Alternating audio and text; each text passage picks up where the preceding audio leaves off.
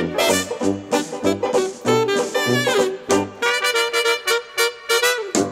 everybody, and welcome out to another Dice Tower daily unboxing video. My name is Chris Yee, and today we're taking a look at Matthew Dunstan and Brett J. Gilbert's The Guild of Merchant Explorers.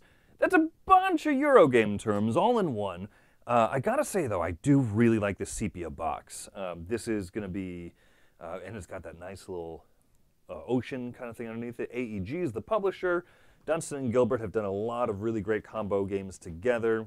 Uh, this one here says 45 minutes of playtime, one through four players, age 14 plus, simultaneous play.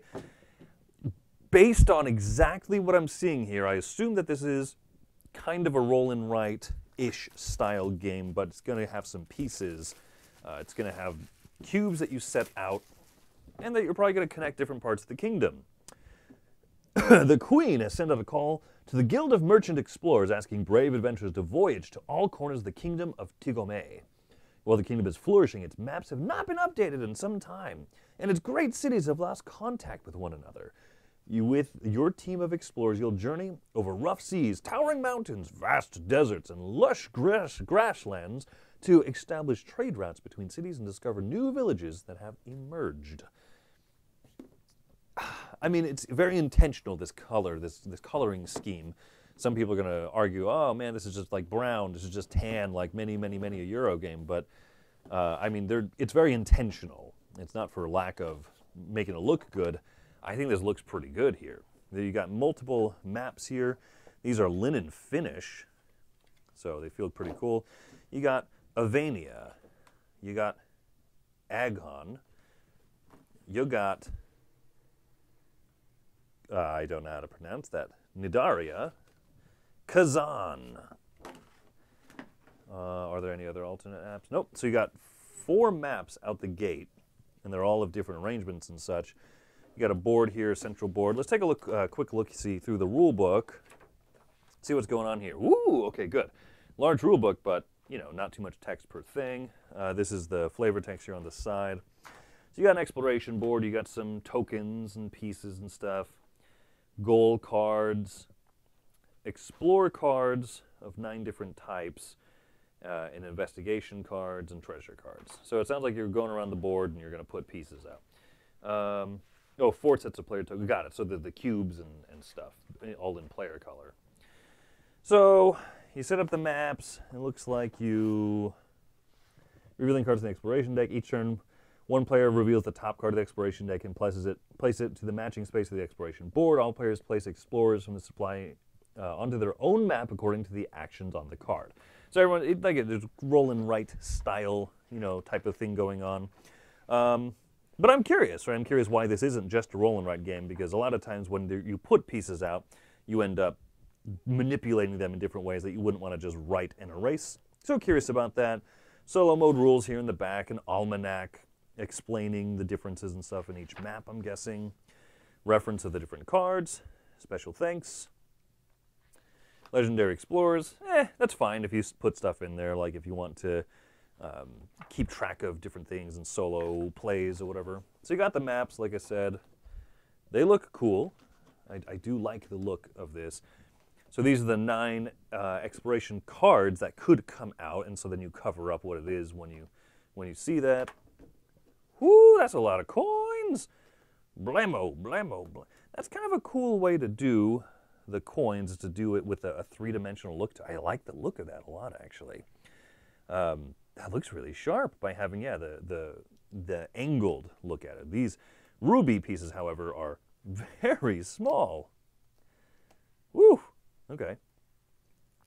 I'm surprised because everything else in the box, the box seems large, the map seems large and everything. So there's those. You got some treasure chests over here.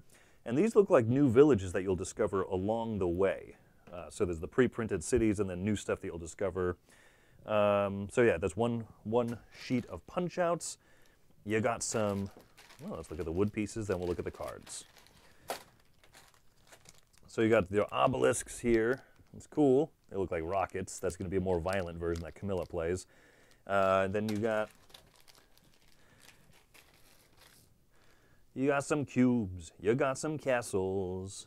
Uh, and is that it? Cubes and castles in each of the player colors. Uh, the player colors that they chose are you know, they're darker colors. It's not like this is not a bright yellow. This is like a, this is like a Dijon yellow, you know, fancy. And then this isn't just teal, this is a Dijon teal.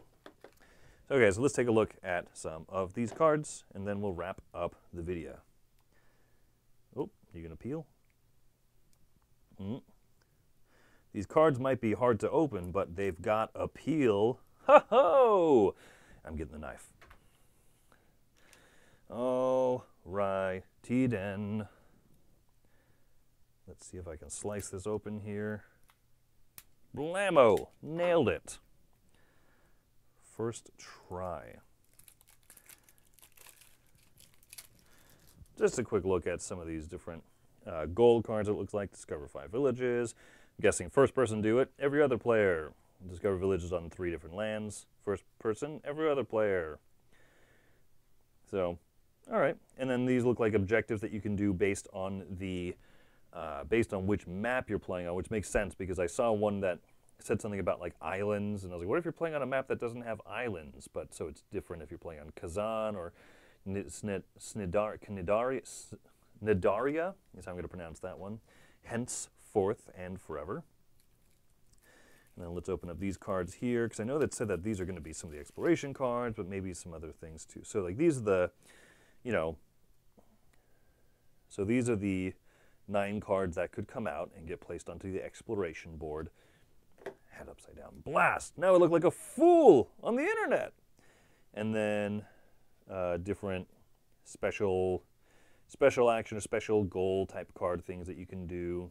And I'm guessing that these work on on any map. They all say investigate along the top. And then it's probably some scoring. Oh, okay, this is probably like, you know, you can mix up the scoring objectives from game to game. Those have coins. I'm guessing the coins are points something. All right, so anyway, that's enough speculation from me, but that's just a quick look at what comes inside the box of uh, this game, which is called The Guild of Merchant Explorers. Thank you so much for coming by another Dice Tower daily unboxing video. Have yourselves a fantastic day.